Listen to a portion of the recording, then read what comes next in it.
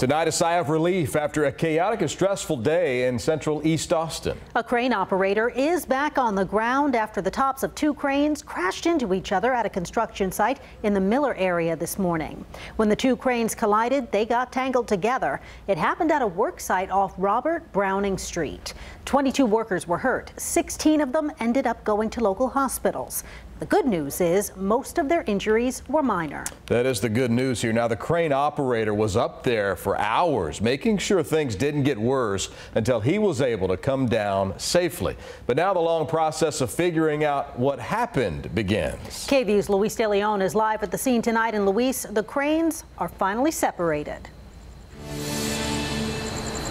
Yeah, that's right. The sun is down now, so it is a bit hard to see, but those cranes were actually separated just before 6 p.m. today. Now, crews are actually working on building offices in the space that's right behind me. Now, as for the stretch of road that I'm standing on right now, it is still blocked off in pretty much all the spots to get onto this road. Right now, we're at the corner of Mueller Boulevard and Robert Browning Street. There is a barricade up right here as well. Even after 22 people were reportedly hurt, thankfully, a majority of those are not serious.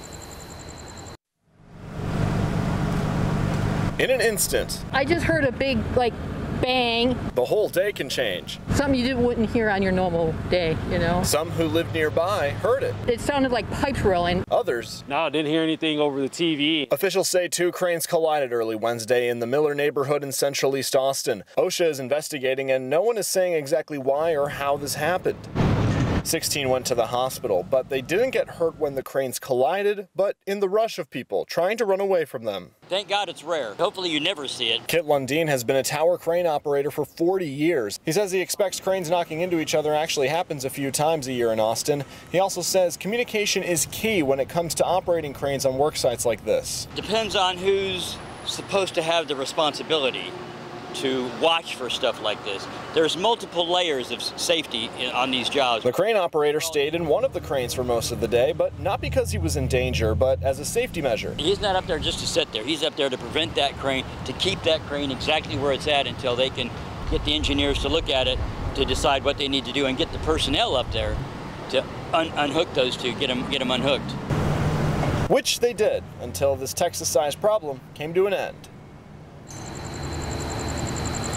Now, the company, Cadence McShane, tells us in a statement that safety is their number one priority, and they're working with the crane subcontractor and authorities to figure out what happened. Brian? Luis, had there been any problems with safety at this work site prior to today?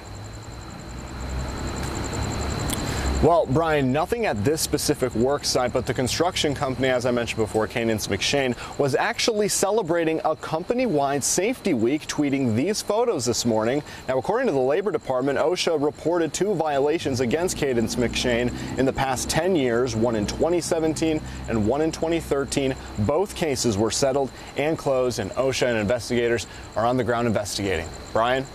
Luis De Leon live for us in East Austin. Luis, thank you for that.